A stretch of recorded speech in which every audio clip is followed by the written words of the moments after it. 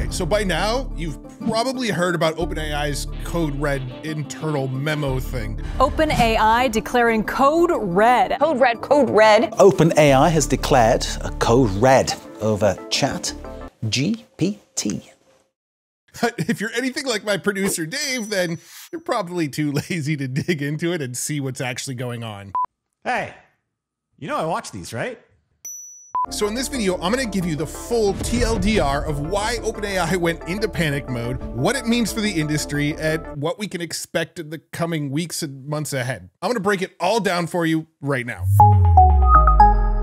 Starting with what actually just happened. In a memo to staff this week, Sam Altman announced a code red, which is apparently like their highest internal urgency level. The company wants to shift all of their resources around and focus on improving Chat GPT because like the competition has gotten really crazy lately. In order to do this, they're deprioritizing almost everything that's not Chat GPT, like their agent features and their pulse feature and the fact that they were planning on baking ads into ChatGPT. Apparently, all of that stuff's going on the back burner in favor of just making ChatGPT better. So apparently the new focus is shifting back to better speed and reliability, handling a wider variety of questions, improving personalization and usability, enhancing things like their image generation model and editing model, and reducing over refusals or like basically anytime chat GPT says something like, I can't answer that, even though it was like a very harmless prompt. So in a nutshell, the code red is OpenAI going into triage mode. They're putting all of their energy into the core product that everyone actually knows them for. But that's probably like the headline that you've already heard. I want to dive a little bit into how did we actually get here? Like, why is the most recognizable name in all of AI freaking out right now? I could have been dead! I could have died! Keep it together, man! They're basically the band aid or Kleenex of AI. Like, people use the term AI and ChatGPT interchangeably. Like, if I was to ask my non techie neighbor if they've heard of Gemini, they probably haven't. But if I ask them about ChatGPT, they definitely have. So again, why is this happening? Why now? To break that down for you, I actually need to share a real quick history lesson.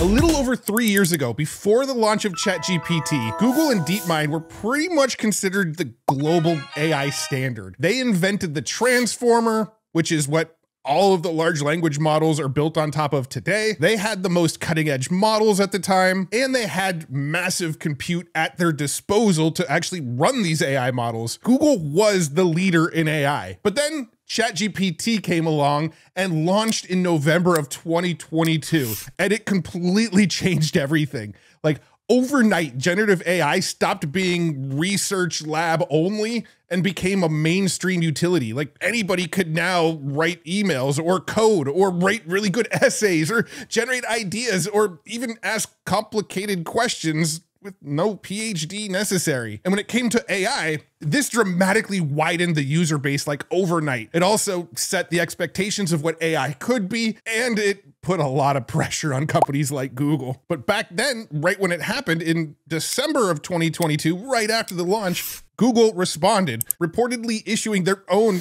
code red. They needed to scramble to catch up and integrate AI across search and products and infrastructure. In fact, Larry and Sergey, the original founders of Google, they even came back to put their brain power into catching up with OpenAI. And at the time, the narrative was that Google had everything they needed to be the AI powerhouse, the absolute leader in AI. They invented the technology that all LLMs use today. They had the smartest minds in AI working for them.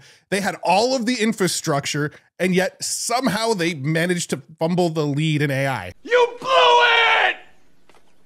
However, slowly but surely, Google started chipping away at improving their AI offerings. They also seemingly stopped playing so scared. They actually released models that weren't quite ready for the public yet, which was very un-Google like. They just put stuff out there and then got feedback of where it was broken and then went and fixed it. Previously, Google had been really, really cautious about putting this kind of stuff out there. And as Google was starting to gain a little bit of momentum, we started to see some cracks in OpenAI. In fact, most people had been paying attention to tech for the last just few years probably remember that in 2023, the nonprofit board of OpenAI actually pushed the CEO, Sam Altman, out, which created like a ton of chaos and a ton of investor uncertainty. But probably most importantly, planted a ton of seeds in people's minds about like who this Sam Altman guy was and his character and his ability to lead a company with such huge implications on the future of the world. So I've been talking a lot about how AI is reshaping entrepreneurship. The barrier to entry for new businesses is so much lower now with AI, and that can be amazing, but it can also be a bit overwhelming.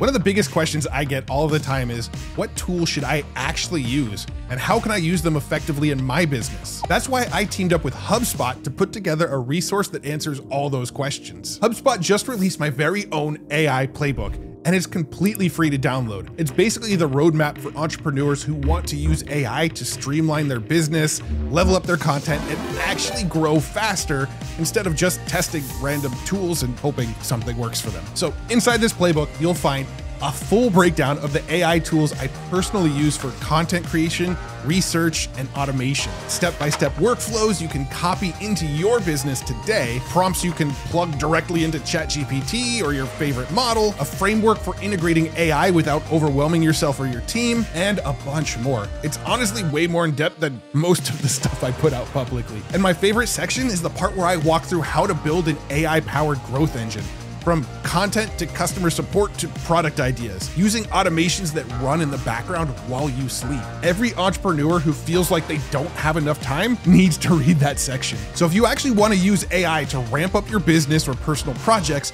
download the free playbook at the link in the description. And thanks so much to HubSpot for sponsoring this portion of today's video. And then pretty quickly after that Sam Altman incident, OpenAI started having a brain drain problem. Some of their most talented and well-known scientists and engineers were bailing to like go create their own companies or to join other frontier model labs. Andrej Karpathy, one of the founding members who worked on computer vision and generative modeling, he left in early 2024 to go focus on personal projects. Ilya Sutskever, one of the co-founders and the former chief scientist who was really deeply involved in OpenAI's foundational work, he quit in mid-2024 to build his own lab called Safe Superintelligence or SSI. And then you have Mira Murati, who was the company's former CTO and she actually like briefly became CEO for a little bit when they booted Sam out. Well, she left later in 2024 to go build Thinking Machines Labs. And those are just the more well-known names. Beyond them, there's like a pretty long list of senior researchers, execs, and product leads who all exited themselves or moved to other rival labs. Then fast forward to November of 2025, just recently as of the recording of this video, Google dropped Gemini 3, one of the most anticipated models of the year. And it blew people's minds.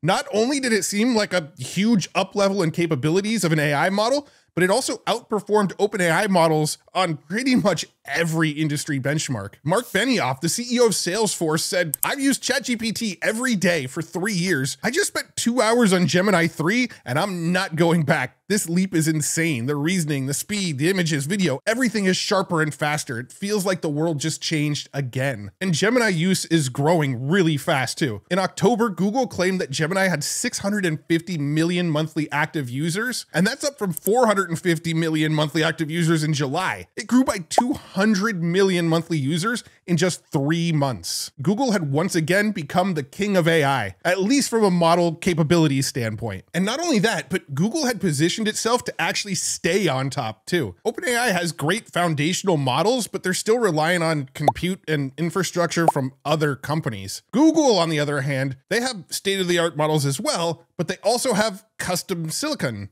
like their TPU chips. They have their own cloud hosting. They have seamless integration across billions of users in Search, Chrome, Android, Gmail, Google Drive, and so much more. Google also has all of that revenue that it generates from its search and other businesses, which help subsidize all of this AI use. OpenAI, on the other hand, well, it's literally losing hundreds of millions of dollars per month and constantly needs to raise more capital to keep up with these costs. And to add to OpenAI's troubles, rivals like Anthropic have been gaining traction as well, especially among enterprise customers and coders. In fact, almost everyone who's serious about coding or vibe coding knows that Anthropic's models are still the superior option over OpenAI's and honestly kind of over Google's for the most part too. So to sum it all up, OpenAI, who was once the clear leader, is no longer being uncontested. They no longer lead in the benchmarks and the field is fragmenting. So bringing this all together, why did they actually issue the code red? Well, you had benchmark losses. OpenAI is no longer automatically the best model. Gemini 3 and Claude Opus 4.5 beat them in most benchmarks. And even Grok from XAI is beating OpenAI in a lot of the benchmarks now. There's rising competition from well-funded rivals like Google, Anthropic, and these new labs that are popping up from ex-OpenAI founders and team members. You have talent attrition. Brain drain is making it harder to innovate and maintain the lead. And you have internal strategic uncertainty. Like there's too many initiatives, too many possible directions, and likely a pretty diluted focus. They want to build browsers and news aggregators and agents and image generators and video generators and new voice modes and health agents and coding apps. And they're even working on physical hardware. When in reality, most people just want ChatGPT to get a little bit smarter and respond more how they want it to respond. Most of the world sees the rest as just noise, and myself kind of included most of the time. So rallying the troops with a code red makes sense. Prioritize what still defines them, ChatGPT, double down on the core competency, delay distractions, and try to fight back from a position of strength. It may also be a statement to investors, stakeholders, and the broader AI ecosystem, as in, like, yes, we see the danger, we're doubling down. But let's be honest, Sam and the OpenAI team have a tendency to hype things up a bit, only to overpromise and underdeliver. Many out there, and I'd probably put myself in this camp. Believe that this code red is kind of just another marketing play by OpenAI to spread rumors and excitement about their next model. Which brings me to the next little tidbit that came out of this whole story. According to the reports, OpenAI plans to roll out a new reasoning model next week presumably to get back into being the main story in the AI narrative that's playing out because they're not who everybody's been talking about lately. And they claim this new model already scores ahead of Gemini 3 on their own internal evaluations. Now, I'm not clear if this new model is going to be publicly released, if it's going to be something their internal team gets access to next week, or if it's all just, you know, unfounded rumors. They haven't really made public announcements about this next model yet, but I do think most OpenAI users are on board with the idea of shifting focus back to just like making better models and continuing to improve the user experience for everyone. That's what most of us really care about.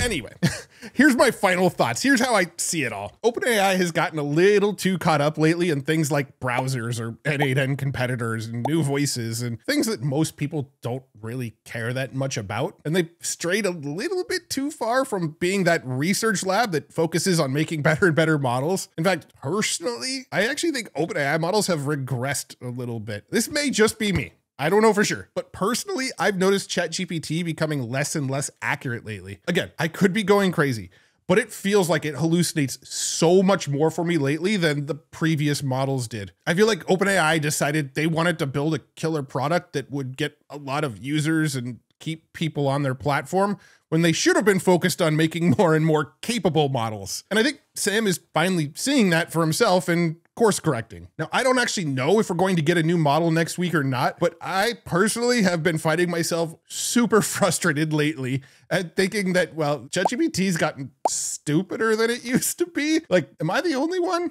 Anyway, hopefully, whatever's coming, it fixes that. Like, stop being stupider and get smarter again. That's what we want. So, yeah, that's pretty much the breakdown of this whole code red thing. I figured people will be hearing this pop up and will wonder what's going on there. So, I figured I'd make this quick little TLDR for you and all the lazy Daves out there. If you like videos like this and you want to stay looped in on the latest news, advancements, and tools in the AI world, give this video a like and consider subscribing to this channel. I promise to do my best to make sure you have your finger on the absolute pulse of AI advancements. Thank you so much for nerding out with me today. Hopefully, I'll see you in the next one. Bye bye. Thank you so much for nerding out with me today. If you like videos like this, make sure to give it a thumbs up and subscribe to this channel. I'll make sure more videos like this show up in your YouTube feed. And if you haven't already, check out futuretools.io where I share all the coolest AI tools and all the latest AI news. And there's an awesome free newsletter.